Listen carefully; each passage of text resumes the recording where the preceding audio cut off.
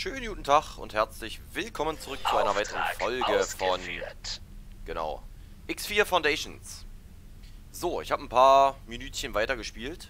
Naja, Minütchen ist übertrieben.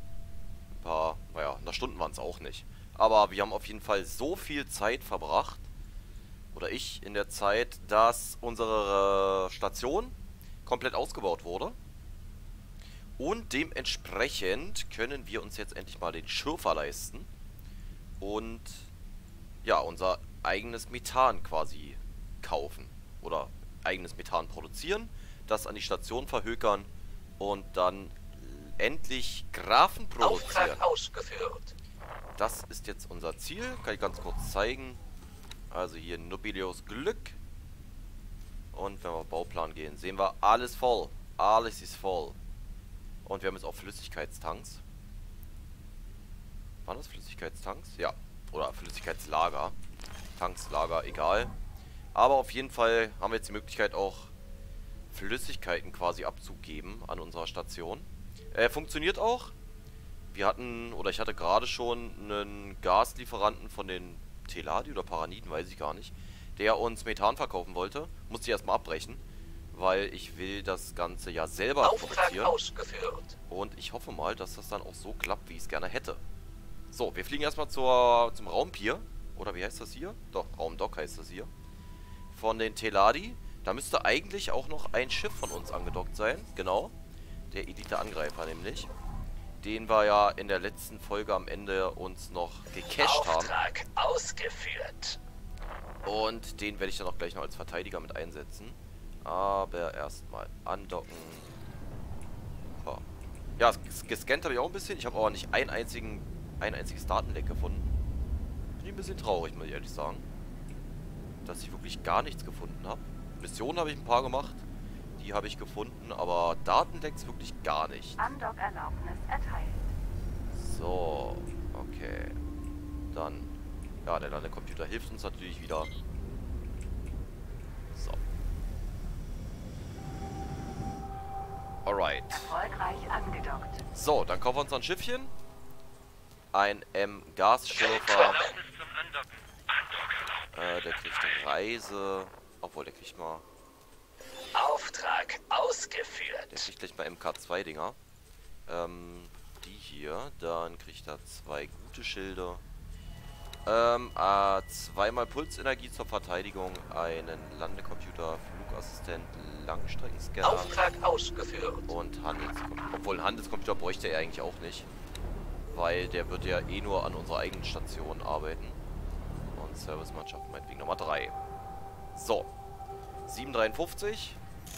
Bestätigen. Wir stehen trotzdem mal auf. Hallo. Hallo.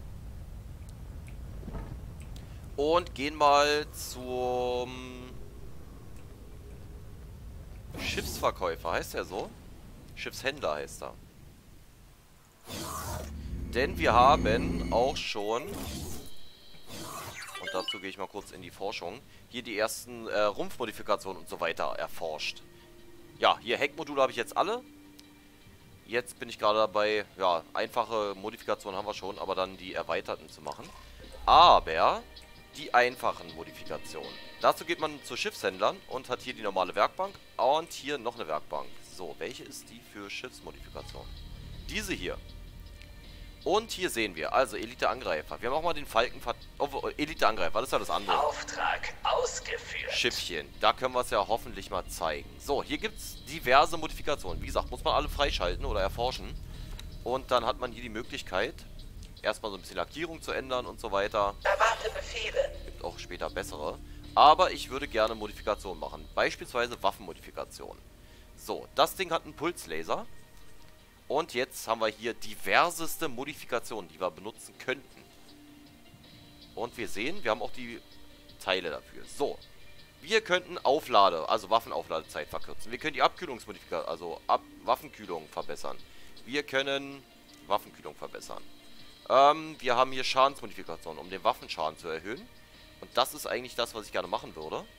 Und wir sehen hier diverse Sachen. Also, wir könnten den Waffenschaden verbessern. Wieso kann ich das machen? Nicht genug Ressourcen. Ach, mir fehlt ein Hochenergiekatalysator oder was? Nee. Einfache Waffenkammer? Warum kann ich das nicht machen? Ach da, einfache Waffenkammer fehlt mir. Mist. Ah, können wir doch noch nicht zeigen. Oder ich kann, oder können wir Schildmodifikation? Mal gucken, ob wir davon was haben. Das können wir doch machen. Okay, dann fangen wir mit den Schildmodifikationen an. Und zwar können wir die Schildkapazität erhöhen. Auftrag ausgeführt. Die Wiederaufladeverzögerung verringern. Oder, ja, die Wiederaufladerate erhöhen. Meine Ähm. Forschungen sind zum Abschluss gekommen. Sehr schön. Jetzt müssten wir theoretisch auch die verbesserten haben. Auftrag ausgeführt. Und ich würde einfach mal hier die Schildmodifikation bei dem Schiff machen. Weil das könnte man eigentlich auch auf unserem Hauptschiff machen. So, und da sehen wir also plus 5 bis plus 20. Das ist so ein bisschen Glücksspiel. Also man würfelt und dann guckt man, was man am Ende rauskriegt. Für die, die äh, sicher gehen wollen, dass sie das Beste bekommen, speichern, laden ähm, und dann hoffen, dass man irgendwann einen guten Wert bekommt. Aber ich mache jetzt einfach mal auf blauen Dunst und sage mal, ja, komm, wir machen doch den Elite-Angreifer. Ähm, und gucken mal, was rauskommt. So, erstmal kriegen wir eine Errungenschaft Bastler. Und wir sehen, 8,77% haben wir bekommen. Können das Ganze wieder zerlegen, wenn es uns nicht gefällt. Aber wie gesagt, ist jetzt eh nur so ein kleines Teil. Und wir sehen 1182 haben wir jetzt. Davor waren es, weiß ich nicht, 1100 oder so. Ich habe jetzt ehrlich gesagt nicht drauf geachtet. Aber so kann man sich quasi die ganzen Modifikationen hier quasi dazuhauen. Und das finde ich echt eine coole Mission oder eine coole Variante. So. Ne? Haben wir mal gesehen, wie Mo Modifikationen gehen. Ausgeführt. Und das kann man dann mit diversesten oder mit allen seinen Schiffen machen, aber ich weiß nicht, ich werde es wahrscheinlich nur für mein Hauptschiff immer machen. Verteidiger. Erwarte Befehle. Und das werde ich dann auch mal zwischen den Folgen machen. Ähm, und da, naja, ne, mit Speichern und Laden dann die besten Sachen rausholen. Weil die Dinger kosten halt wirklich verdammt viel Asche. So, aber wir haben erstmal hier drei Schiffe am Start. Einmal den Honigfresser. Einmal den Elite-Angreifer. Der wird gleich mal einen neuen Auftrag bekommen. Nämlich Schiff beschützen. Zu wählendes Schiff. Honigfresser. Und bestätigen und dann noch ganz kurz zuweisen. So. Und den Honigfresser. Den würde ich ganz gerne erst einmal in ein anderes System fliegen. Und das, ja, würde ich tatsächlich auch manuell machen. So, wir können jetzt entweder auf das Schiff lauf laufen oder wir teleportieren uns einfach hin. Auftrag ausgeführt. Wir können mal hinlaufen. Äh. Nee, da steht unser. Äh, da vorne ist ein Fahrstuhl. So, dann fahren wir mal runter. Nehmen wir den hier, der schon da ist. Und dann laufen wir da hinten zu unserem Honigfresser. Und werden den mal Richtung Station begleiten. So, ich hoffe, dass das mit dem Auftrag ausgeführt. dass das mit dem Handeln auch so funktioniert, wie ich es gerne hätte. Beziehungsweise mit dem Schürfen und Liefern an die Station. So, erstmal hier zur Landebucht laufen. Ist schon ein Riesenteil. Und das ist ein M-Schiff, ja. Also, Auftrag ausgeführt. da gibt es noch eine Nummer dicker. Und, na gut, die Konstruktionsschiffe sind dann nochmal noch eine Nummer dicker. Müssen wir reinkommen, ne? Genau. Alright. Ja, ne? Kleines Schiff. Alter Schwede. Das ist ein Teil, ey. Will erst mal gucken, wo es überhaupt reingeht. Ich tippe mal hier irgendwo. Da vorne geht's rein, okay. Gut. Hallo? Honigfresser. Honigfresser. Verteidiger. Gehen wir mal ins Cockpit. Falsche Richtung. Und erstmal gucken. Also. Pilot 4, Moral 3, 2 Drittel. Alter Schwede. Was für ein geiler Typ ist er denn? Ich grüße Sie. Auftrag ausgeführt. Wow, der, also der Pilot ist wirklich mal ultra gut. Da sehen wir auch drei Sterne. Und Capitano. Alter, ist ein Auftrag 5 Sterne. Ach nee, das sind wir. ähm. Oh ne, vollständige Crewliste. Nein. Äh, da, Honigfresser. Mal zumachen. Äh, erstmal benennen wir ihn anders. Und zwar Sammler Gas. Ach, das ist wieder das Blöde, dass man immer noch nicht nach vorne kommt. Sammlergas 3. Okay, äh, vielleicht benennen wir den auch nochmal anders. Also unser Hilfspilot, Ugurus. 4 Pilot, 3 Moral, 1 Management. Mega Typ. So, Servicemannschaft, die sind immer kacke, ne? Genau, die sind wirklich immer kacke. Auch wenn man sich die von Station holt, sind die kacke. So, und wieder zumachen. Okay, gut. Dann würde ich sagen, docken wir mal ab. Auftrag ausgeführt. Und fliegen wir mit dem Honigfresser. Der Bitte mal- zum Andocken. Ja, es ruckelt wieder, es tut mir leid. Kurz mal hier sagen. Leitsystem. Okay, wir müssen wieder die große Runde fliegen. Auftrag ausgeführt. Aber wir haben direkt vor der Haustür schon mal das Sprungtor ins nächste Gebiet. Was ist das denn hier für ein Sprungtor? Achso, der geht wieder zurück. Alles klar. Gut, dann fliegen wir mit unserem kleinen Honigfresser Richtung unserer Fabrik. Können wir uns dann auch gleichzeitig mal die Fabrik ein bisschen angucken.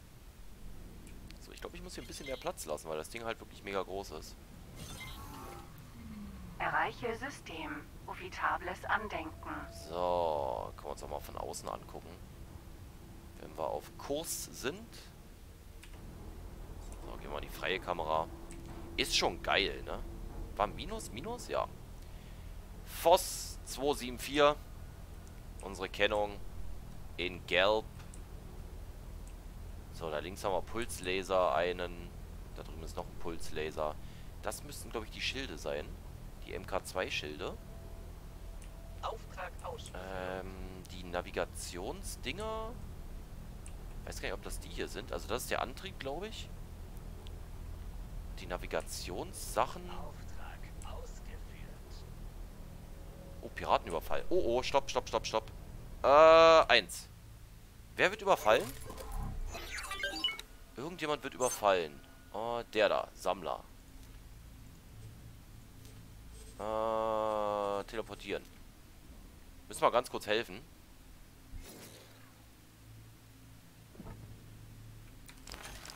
Elite. Angreifer. Ich grüße Sie. Jo, grüß dich. Äh, dein Chef wird angegriffen, habe ich gehört. Nee, wird er nicht.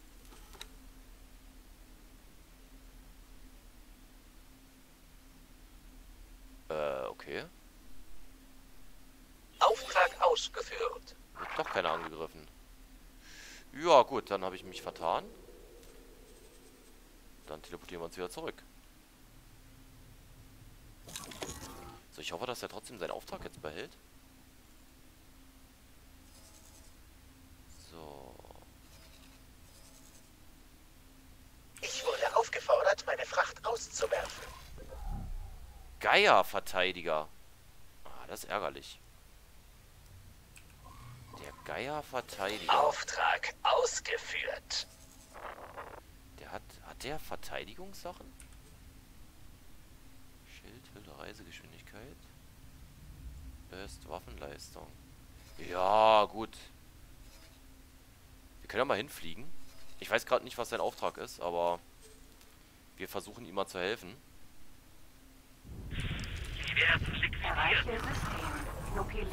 Glück. So, komm, wir fliegen einfach mal.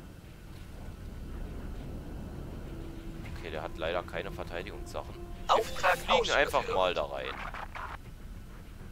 Und hoffentlich werden wir dann den Piraten erstmal ein bisschen los. PGS Plünderer. Die sollten wir vielleicht mal mit einem Kampfschiff irgendwie zerstören. Vielleicht mit unserem Falkenverteidiger. Aber erstmal retten wir hier unseren Transporter. Auftrag ausgeführt. Wir können ja mittler oder zwischendurch auch mal sagen, dass der Sammler ähm, mal hier hinfliegen soll. So, der Elite-Angreifer soll eigentlich ihn beschützen. Genau.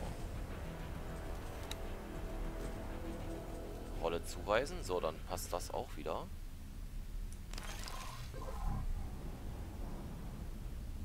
Hoffe, ich treffe das Teil.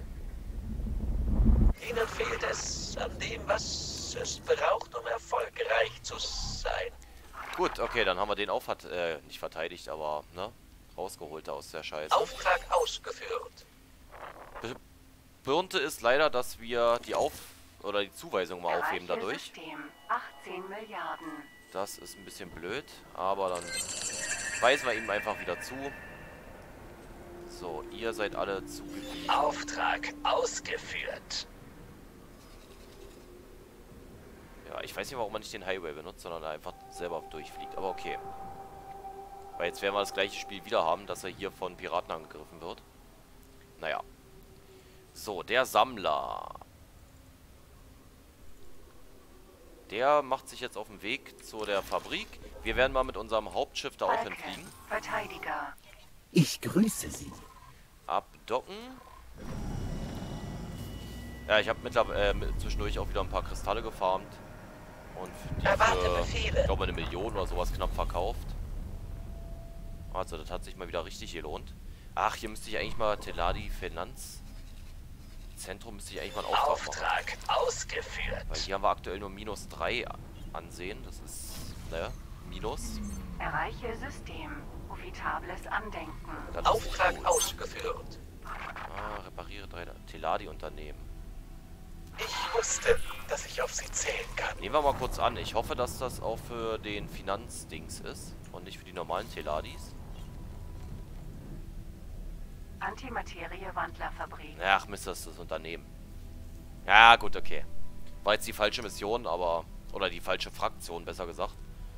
Aber egal. Reparieren wir schnell mal das Teil. Beziehungsweise stopfen die Datenlecks. Und dann... Haben wir noch ein paar Mark nebenbei gemacht. Dann sollte hoffentlich unser Honigfresser auch schon im Sektor ankommen. So, da unten Auftrag ausgeführt. So, einmal hier kurz reparieren. Aufstehen. Hallo. Ey, wehe, du fliegst weg, sag ich dir. Befehle. Raumanzug. So, einmal die Datenlecks schnell reparieren. Nummer 1. Äh, okay, 550 Meter, das können wir auch mal machen, ohne wieder an Bord zu gehen. Ich hoffe, dass der nicht innerhalb der Station liegt.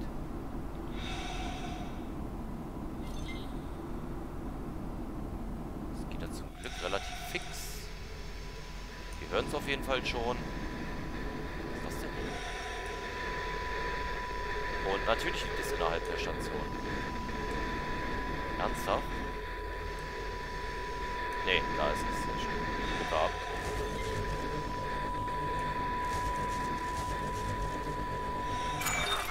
Mission completed. Und wir kriegen nochmal 170.000. Sehr geil. So, jetzt muss ich nur noch unser Schiff finden. Erwarte Befehle. Aber das müsste irgendwo hier oben sein. Da ist es.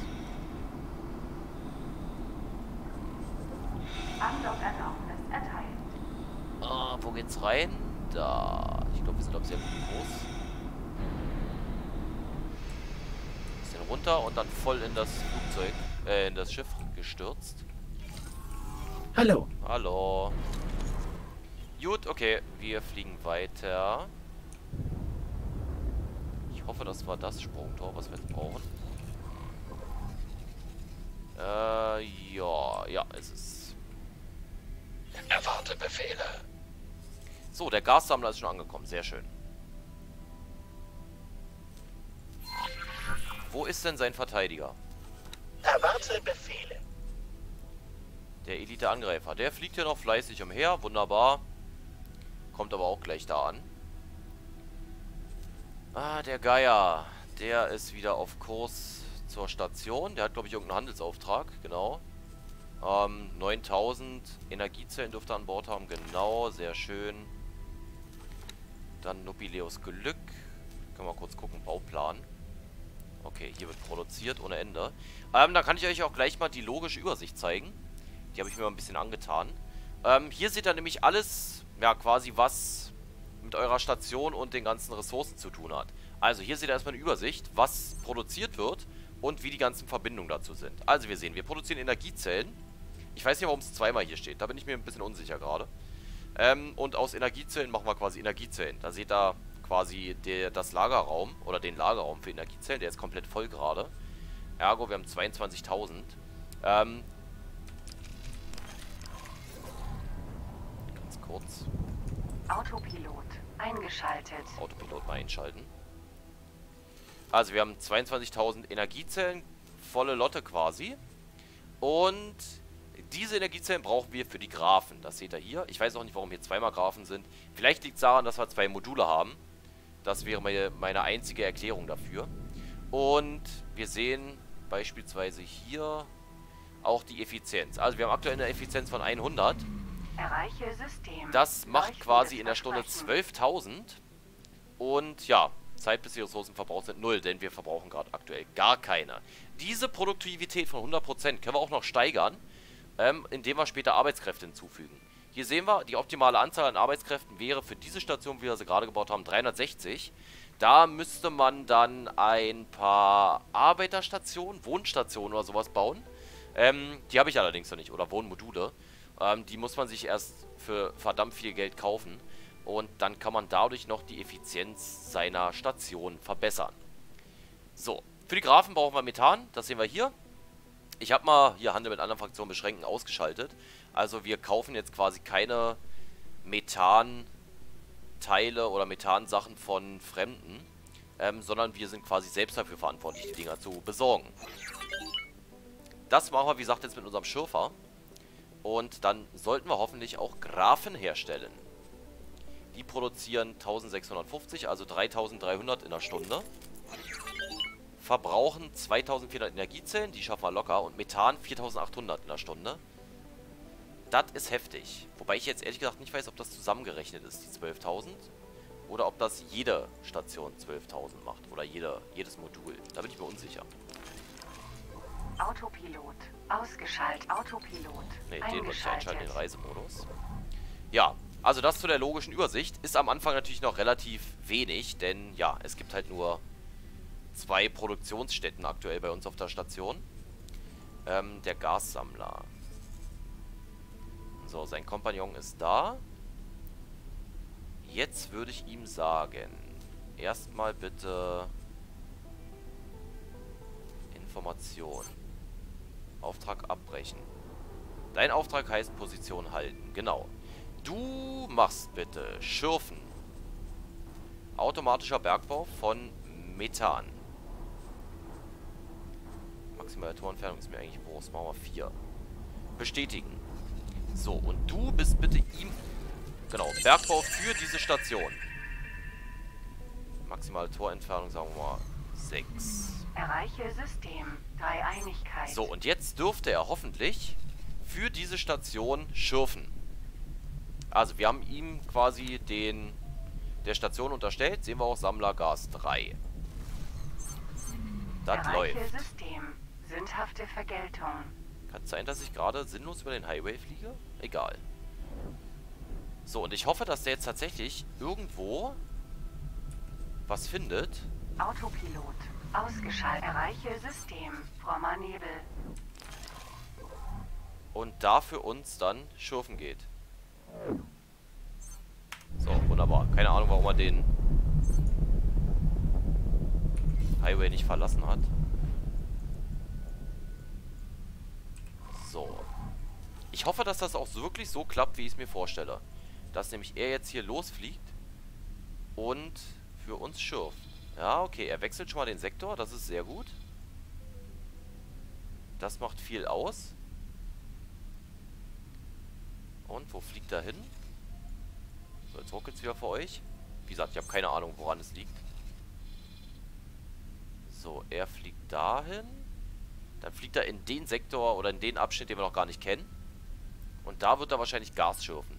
Ist Quatsch, Methan wird er schürfen. Ich wurde aufgefordert, meine Fracht auszuwerfen. Na, wer ist das wohl? Natürlich der Geier. So, dann fliegen wir da jetzt mal ganz kurz mit unserem zivilen Schiff hin. Oder mit unserem Verteidiger. Erwarte Befehle.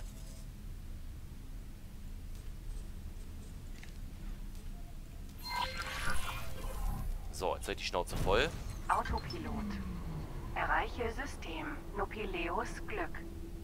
Jetzt fliegen wir dahin und bekämpfen mal ein bisschen die Piraten.